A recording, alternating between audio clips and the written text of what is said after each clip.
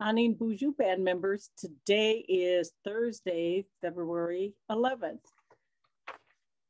COVID updates for the county.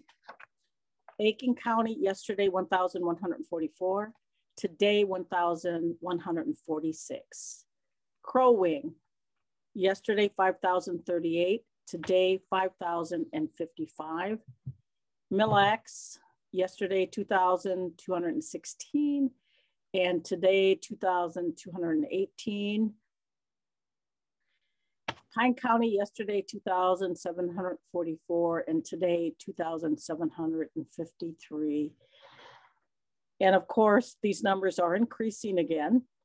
And as a reminder that I say just about every video, please wear your mask.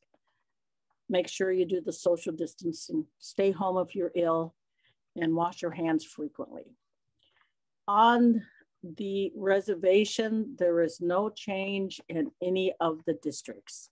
So District 1 and 2A, 105, no change.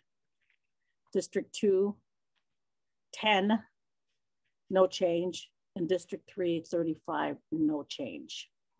So that's good news. I hope that we can keep those numbers the same and there is no increases. And as a reminder for the vaccination update, if you want to be placed on the list to be vaccinated, please call the Health and Human Services 320-532-4163. Your name and contact information will be added to the list. Also, a couple of things, um, tax season is here. And so the Grand Casino Income Tax Preparation Program. So the appointment hotline is open. So the service is for elders, band members, and employees of the band. It is a free service for all. So they have a program that they use, and uh, some folks are saying it took band members hmm, about 20 minutes to complete their federal and state returns. So that's that's good. We can get that done quickly. And the number 320-532-8500 and leave a message and they say someone will uh, return your call to set up an appointment. Want to give a shout out to one of our band members, Catherine Colsrud, who lives in District 3. And Catherine recently won a competitive arts grant from the Minnesota State Arts Board and she has been an active artist for many years and she submitted an application along with samples of her work in September 2020.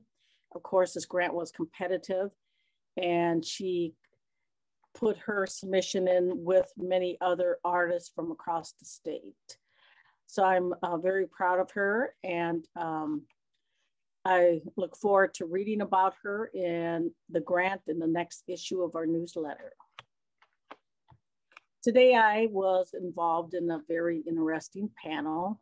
I was invited by our band member, Tanya Stewart, and this was regarding leadership and business leaders across the state of Minnesota. And I had the opportunity to do an educational forum talking about the Mille Lacs Band, uh, the history of the band with uh, some of the issues that we deal with, talked about self-governance, talked about sovereignty, talked about how we need to do a better education process in the state of Minnesota for all students to learn about American Indian governments. And that was an enjoyable panel to participate in. One of the questions from the participants was that he had read in the Star Tribune about our lawsuit so he asked me to talk a little bit about that. And so I explained exactly what happened, um, why we're in the lawsuit, because it has to do with the law enforcement in the Mille Lacs County interference with our law enforcement department.